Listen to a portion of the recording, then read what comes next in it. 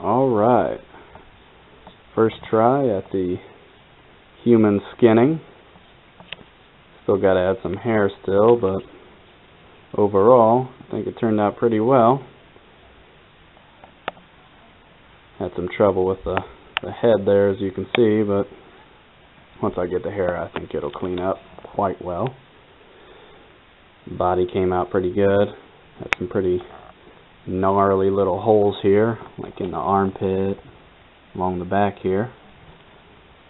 I add some blood here in a little bit, kind of finish it all off. Top right arm there needs a little bit of work, but uh, overall it turned out pretty good. I think you do a uh, half dozen of these or so, move them around as needed, and uh, create a pretty gruesome scene. So, can't wait to use these and uh, have to show the finished product.